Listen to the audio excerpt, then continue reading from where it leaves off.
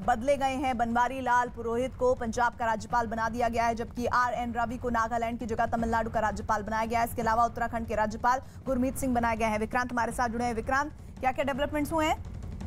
देखिए उत्तराखंड की राज्यपाल बेबी रानी मौर्य ने इस्तीफा दिया था वो राष्ट्रपति ने स्वीकार कर लिया और उत्तराखंड का राज्यपाल नागालैंड के राज्यपाल आर एन रवि को तमिलनाडु भेज दिया गया है इसके अलावा पंजाब के राज्यपाल का अतिरिक्त प्रभार संभाल रहे थे तमिलनाडु के राज्यपाल बनवारी लाल पुरोहित हम्म। उन्हें पंजाब का राज्यपाल अब नियुक्त कर दिया गया है हम्म। लेफ्टिनेंट जनरल गुरमीत सिंह को उत्तराखंड और असम के राज्यपाल हम्म। जगदीश मुखी को नागालैंड के राज्यपाल का अतिरिक्त प्रभार सौंपा गया है तो यानी कि चार राज्यों में तब्दीलियाँ हुई हैं।